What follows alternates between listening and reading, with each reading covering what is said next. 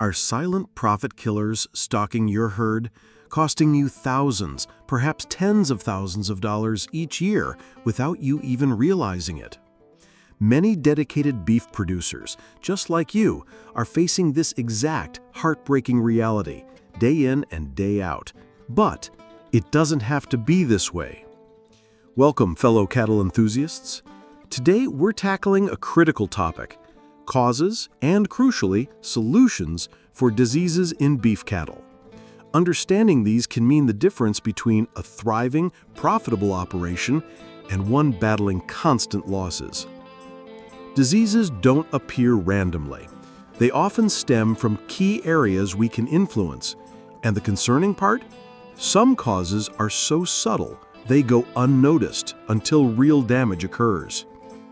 First, a foundational pillar, nutrition. Your cattle might look well fed, but are they truly well nourished? There's a difference. Hidden hunger, a lack of essential vitamins, minerals like copper, selenium, or zinc, or the right energy-protein balance is a major culprit. These deficiencies cripple immune systems, making cattle easy targets for infections. Imagine trying to build a strong house with poor quality bricks. It just won't stand up to challenges. For your cattle, this means calves can be born weak, cows may struggle to rebreed efficiently, and growth rates can plummet. And the worst part is, these subtle deficiencies often don't show obvious signs until real damage occurs. Many producers unknowingly undersupplement, or they use generic, one-size-fits-all mineral programs that simply aren't meeting their herd's specific needs based on forage quality, regional soil differences, water sources, and the animal's stage of production. Are you confident your herd isn't facing this silent drain from hidden hunger? Next, your farm environment. Poor sanitation and hygiene are open invitations for disease. Pathogens thrive in contaminated water or constantly damp, mucky conditions where cattle are forced to lie. Dirty water troughs can become breeding grounds for harmful bacteria like E. coli or Salmonella, leading to scours or other infections. Overcrowding, especially in confinement, during harsh weather or around feed bunks, concentrates manure and increases the risk of respiratory diseases spreading like wildfire through your herd. Think about it. Proper manure management isn't just about keeping things tidy, it's a critical frontline disease control measure. And water. Clean, fresh water is non-negotiable for health. Yet, overlooking trough cleanliness or failing to test water sources for quality and contaminants is a common and potentially costly mistake that can lead to chronic subclinical health issues that quietly chip away at your profits. Does your farm environment actively fight disease, or does it unknowingly encourage it? Then there's stress. Stress isn't just an emotional state, it has profound physiological impacts that suppress the immune system. Weaning, transportation, extreme weather changes, mixing new groups of cattle, even rough handling, these are all significant stressors.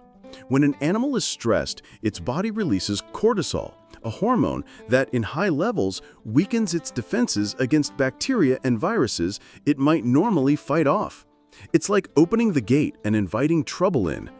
Have you ever noticed how sickness often follows a stressful event, like shipping new calves? That's no coincidence. Many producers underestimate the impact of low-grade chronic stress caused by things like constant competition for feed bunk space or uncomfortable living conditions. Minimizing stress isn't just about being kind to your animals, it's smart business and proactive disease prevention.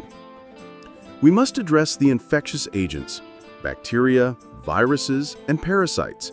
Diseases like bovine viral diarrhea, BVD, infectious bovine rhinotracheitis, IBR, clostridial diseases like blackleg, plus numerous internal worms and external pests constantly challenge our herds. These tiny invaders cause a spectrum of issues, from mild scours or coughing to severe illness, reproductive failure, and even death. Crucially, many of these diseases are introduced from outside sources. This is where biosecurity becomes important. Every new animal brought in without proper quarantine, every visitor with contaminated boots, even shared equipment, can be a Trojan horse carrying disease. A common and costly mistake is underestimating this risk and not having a robust, practical biosecurity plan that is consistently followed. Think about it. Are your current practices truly safeguarding your herd against these invisible threats, or are there gaps that could be exploited? Now, understanding these causes is the first step, but the real power comes from knowing the solutions, the practical steps you can take starting today to protect your herd and your livelihood. And the good news is, many of these solutions are not overly complicated or expensive. They often revolve around smart management and prevention. So how do we combat these challenges? First, let's revisit nutrition. The solution isn't just throwing out more feed, it's about strategic, balanced nutrition. Work with a nutritionist or your veterinarian to develop a feeding program tailored to your specific herd, considering your forage base, local deficiencies, and the animal's stage of production. This means regular forage testing, and providing a high-quality, palatable mineral supplement that your cattle will actually consume in the correct amounts. Don't fall for the cheapest option. Invest in a supplement that truly meets their needs. And water. Ensure unlimited access to clean, fresh water. Clean your troughs regularly, at least once a week, and consider testing your water sources annually. A simple change in water management like providing an extra waterer to reduce stress can help.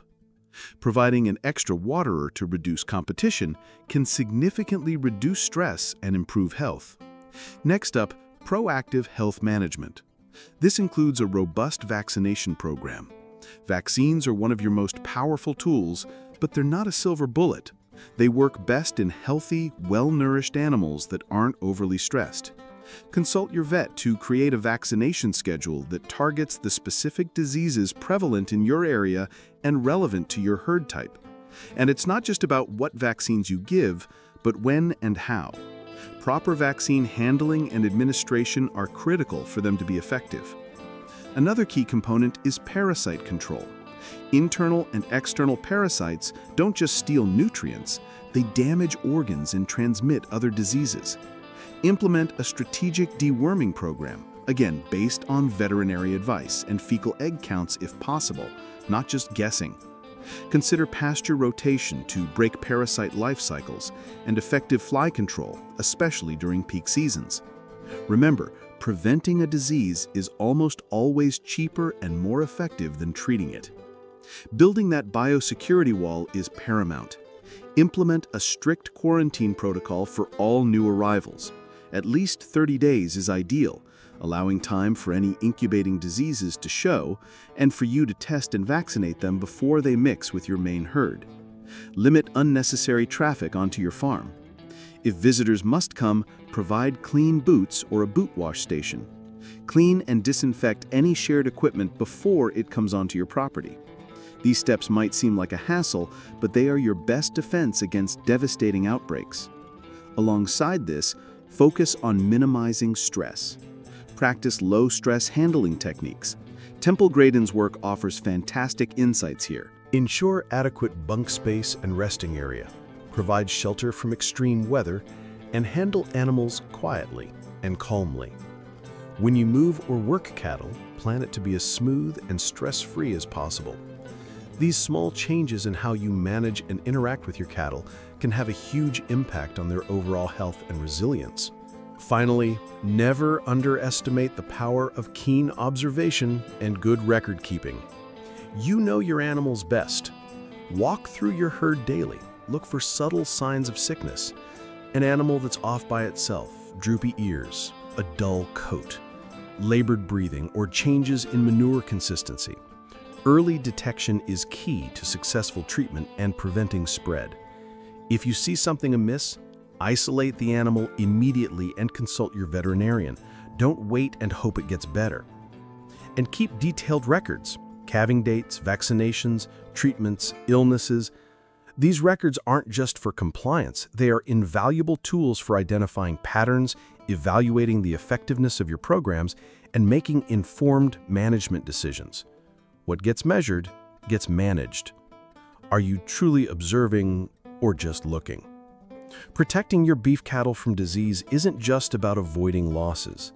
It's about responsible stewardship and building a sustainable legacy. The knowledge you've gained today can empower you to make real, positive changes. We're all learning and growing in this rewarding field. If you found this information valuable, help our community thrive. Please hit that subscribe button so you don't miss future insights. Share this video with fellow cattle producers.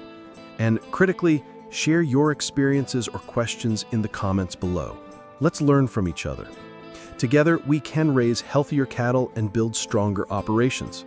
Thank you for watching, and let's continue this journey of improvement side by side.